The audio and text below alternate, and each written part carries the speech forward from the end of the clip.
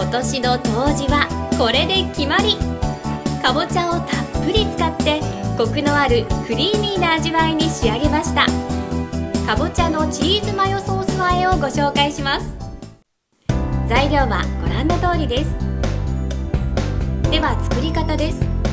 まずかぼちゃは種と綿を除き一口大の角切りにします。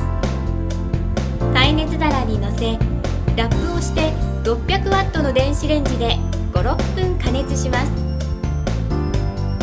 ウインナーは斜め半分に切ります。ペンでは塩を加えた熱湯で茹でましょう。表記されている時間を参考に茹でましょうね。フライパンにサラダ油を熱しかぼちゃとウインナーを入れて炒めます。ボウルにかぼちゃとウインナーペンネを入れ材料 A を加えて混ぜ合わせます。器に盛り仕上げにパセリを散らせば出来上がりです。ピリッと効いた胡椒がアクセントです。ぜひお試しください。